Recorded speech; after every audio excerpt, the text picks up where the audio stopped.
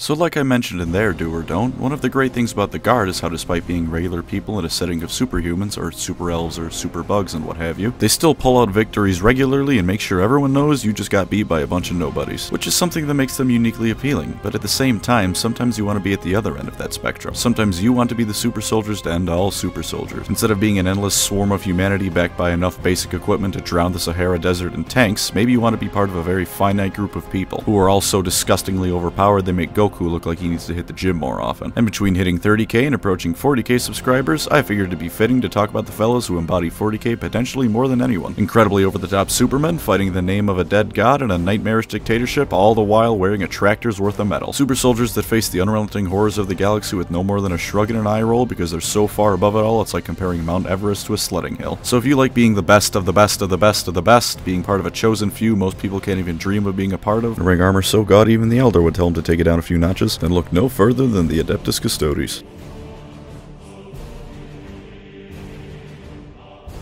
Oh, and the Sisters of Silence, they're included too. You didn't think I'd forget about the Banana Girls in the Banana Boy video, did you? But first, a word from our sponsor. You know them, you've seen them, but for the first time on my channel, I would like to announce that this video is sponsored by none other than Raid Shadow Legends. Are you ever sitting on your phone thinking to yourself, gee, this sure is a phone? I do this quite frequently. But have you ever thought to yourself, gee, I wish this phone could play an RPG with more characters than Pancreas No Work has unassembled minis? Well, to that I say, I click Skaven, there's a lot of them, alright, leave me be. But also, you should play this game if you've ever had that incredibly specific thought, or you should play it anyways, because it's honestly pretty fun. Raid has over 600 different champions for use in the game. Each of them is in their own way effective at murdering their fellow living beings and can be equipped with artifacts to make them even more effective. If you want a solid campaign mode, Raid's got you covered. If you want dungeons, then you better believe Raid has you covered. Do you hate your fellow man and just want him to suffer? Well, you should probably get some help with that one, but until then, Raid's PvP arena has you covered once again. The game, while simple to play, has depth behind it because the fine folks at Plarium know what they're doing. Let me show you some of the fine heroes in this game. First off, Ithos. Now, this guy's a high elf, so that's all the explanation you need, but if that alone hasn't sold you on him, I'll explain a bit more. He can lower someone's maximum health by 50% of how much damage he deals with one skill. He can guarantee every enemy will be weakened, so we can murder them even better. And for his final trick, he gives up on being subtle and just critical hits every enemy on the field. If you hate whatever's in front of you, be it PvP or PvE, Ithos is your guy. Maybe support is more your thing, no problem. Let me tell you about Ursala. Sure, she can decrease enemy attack and increase her own champion's attack, which is great, but that isn't what you want her for. You want her because she can revive every single dead champion on your team at once, then proceed to buff their defense and strength. Imagine with me, dear listener, for just a moment. You know the Necron reanimation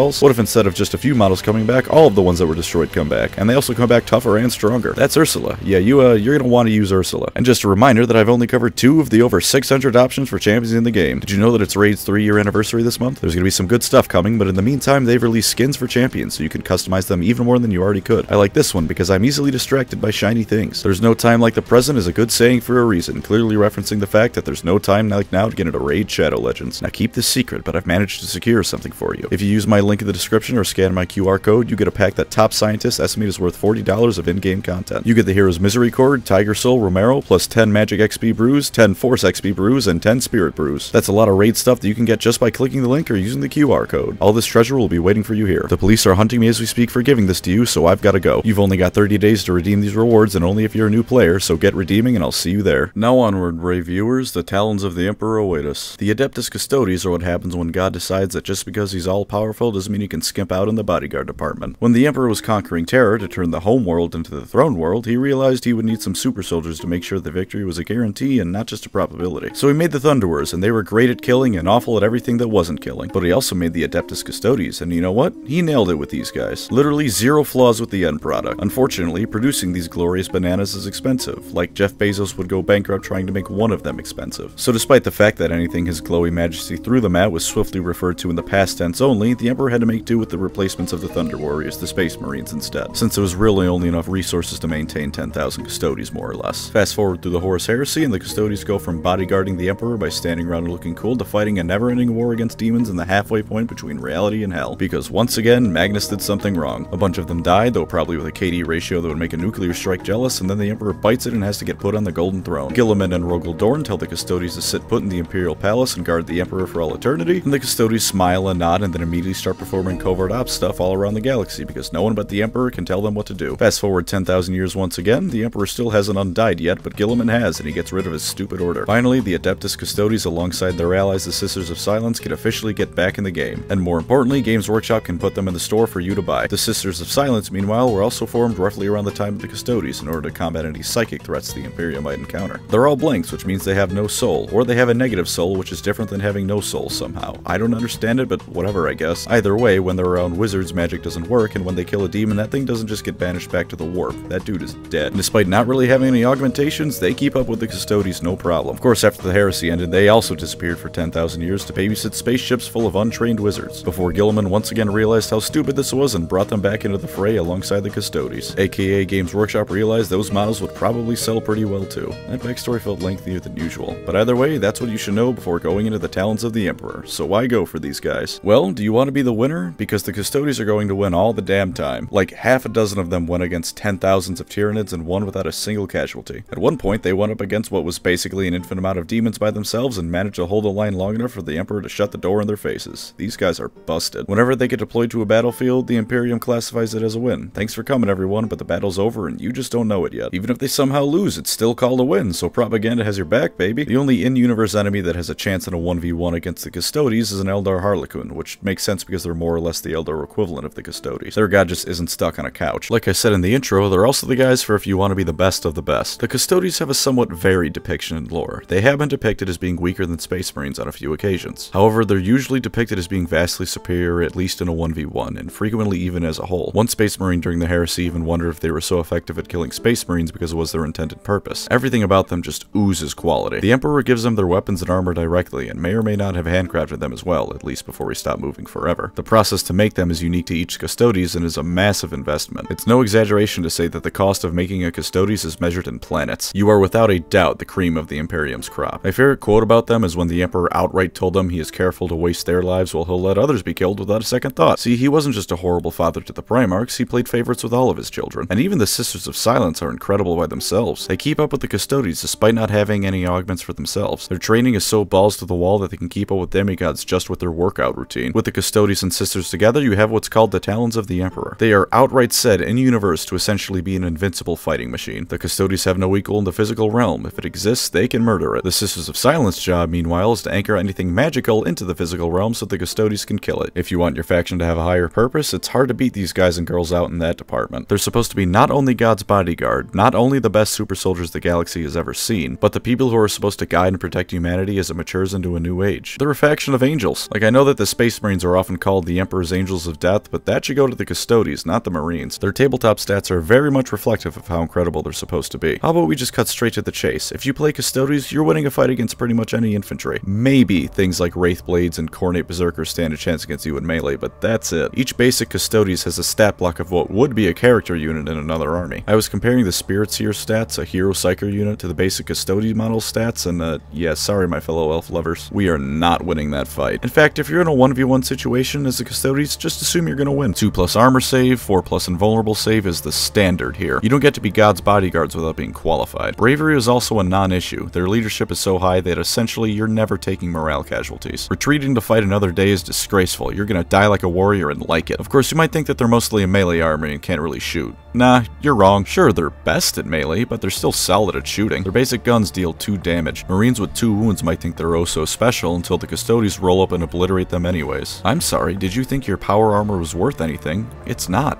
It's really not. Maybe you think you can overwhelm the Emperor's Chosens with hordes. Not if they brought a Witchseeker squad, you can't. Take that Dawn of War voice line where the Marine screams, burn in holy fire, and have a woman say it, and you have the Witchseekers as they incinerate entire batches of infantry. Worried about vehicles as a Custodes player? Just throw a Dreadnought at it. They're better than anyone else's. Sorry, Wraith Lord, the Chad Stodes win again. That sentence hurt to type and say, and I want all of you to know that. And of course, they have the Grav tanks, because in an age where most of humanity gets to use World War I era mechanized units, the Custodes are cruising around in actual sci-fi tech. I feel like it should go without saying, but yes, they're powerful too. They've even got jetbikes for those people who somehow got the mad idea in their head that they could outrun the Emperor's 10,000. Special mention goes to the Rhino. Not for its stats or anything, I just think it's really funny that it's blatantly using an ultramarine paint job. How about the Sisters of Silence? What do they bring to the table? Are you in melee with a Psyker? You get to reroll all your wound rolls. You just do it. They also can't be targeted by or affected by Psyker powers. They look at a man using the power of his mind to throw actual physical lightning around, and they say no. I simply will not be affected by this. I fear the day I go up against the Custodes sister army, because I run Eldar, and I will lose horribly. The models themselves are also absolutely stunning. They're a recent army in the grand scheme of 40k, so it makes sense. The vibrant golden colors of the armor are sure to stand out, and every detail on every model is perfect. There's a reason I said they embody 40k at its finest, maybe even more than the Space Marines. They're Baroque, Romanesque super soldiers with lightning spears and supersized guns, and everything I just described looks amazing. The same goes for the Sisters of Silence. They're just a little bit smaller than the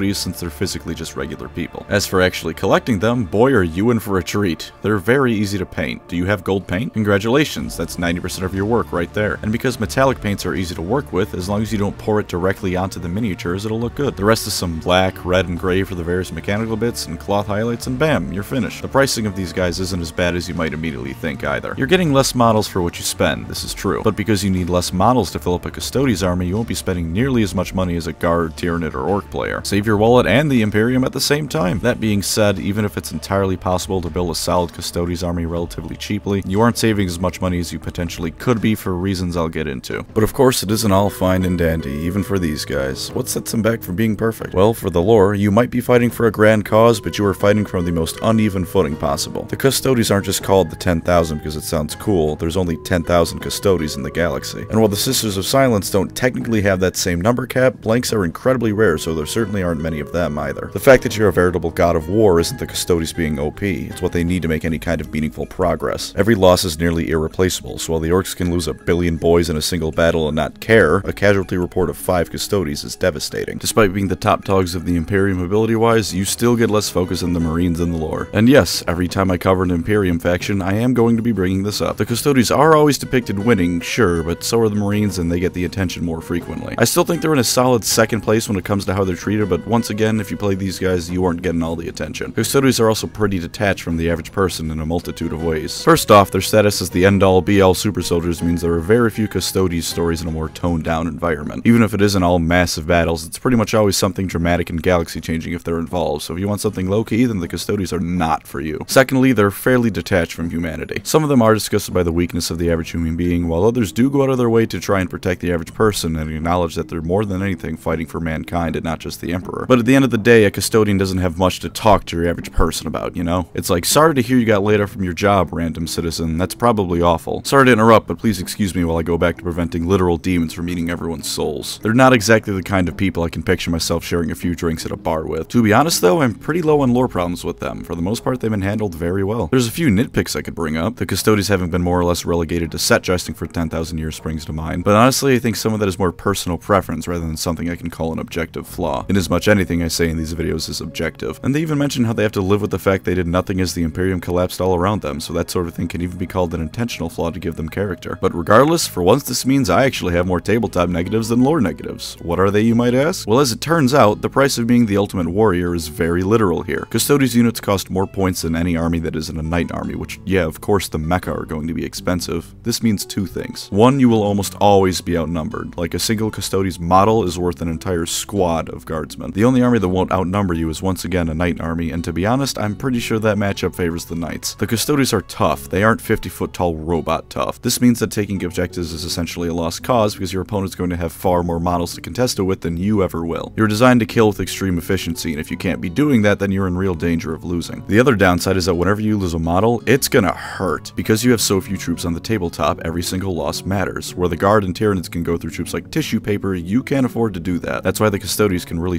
against Horde armies. While the Sisters of Silence Witch Seekers can burn through them, if you don't have them, you can be in real trouble as 50 different shots come straight at you. Eventually, one of them is going to get lucky, and when they do, the Custodes are going to feel that loss. Armies with damage reduction can also give you some trouble. The Custodes on average deal 2 wounds when they hit, which is great. The problem is, if this number is reduced at all, you're going to be dealing not nearly as much damage as you might think you should be. Let's take the Wraith Guard. They now reduce all incoming damage by 1. They have 3 wounds. This means that a Custodian will need to attack a Wraith Guard 3 times to destroy it. You can very well get stuck in against these units while others tear into you from the sides. You do have a lot of attacks in melee, so it isn't necessarily the biggest problem, but something you should always keep in the back of your mind. Speaking of the Sisters of Silence, to simplify, they're roughly equivalent to Space Marines. It's not a perfect comparison, but from what I've seen, they are closer to them than the Sisters of Battle, which means that while they're tough, they aren't tough enough to be effective bullet sponges with how much you're paying for them. Improper positioning can be the death of them, and then you're left without your anti-magic button that may very well double as your anti-horde button. Also, while you technically can field an All Sisters army, it's going to be very bare bones and not have a lot of what you need to compete. It's good for fluffy battles, don't get me wrong, and that can be a lot of fun, just not if you're trying to win in a competitive setting. You also don't get any magic if you don't ally with an Imperium force. So if you want to run all Custodes, you not only can't cast magic, but you can't deny it without using a stratagem either. With the Sisters of Silence being a thing, you might think it's not that big of an issue, until you remember that while the Sisters are immune to Eldrad setting their insides to 500 degrees Celsius, the Custodes are not. You're also kinda slow. You have transports, but aside from them and the jet bikes, you aren't the fastest fellas on the field. Not horribly slow, it's not like the Death Guard or the Necrons, but just something to keep in mind before you charge your 10 Custodes into a horde of 100 guardsmen. The models themselves are also pretty samey. The Sisters bring some nice diversity into the mix, but even then they don't really take away from the feel of buff person in golden armor. They also don't have many characters, and the ones they do are buff dude in gold armor, buff dude in gold armor, and buff girl in gold armor. Not exactly a whole lot of variety here. Speaking of, if you can't stand the color gold, just leave.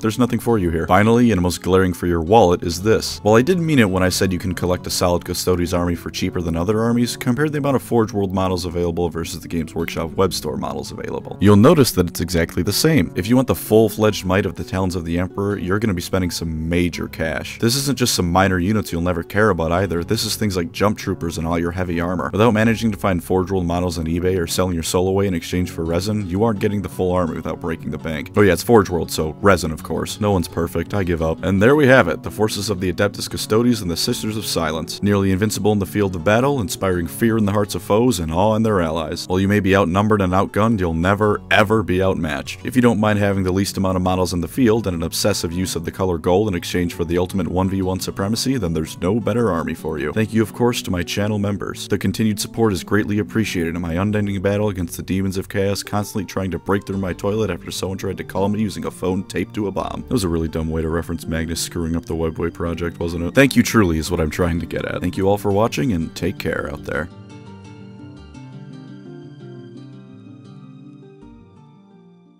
I'm genuinely surprised to know this, but are you aware that Custodes is actually the correct Latin term for guardian? Like Games Workshop didn't pull an Astra Militarum on us, that's actually how you would say it if you were a Roman. Guess even a broken clock is right twice a day, huh?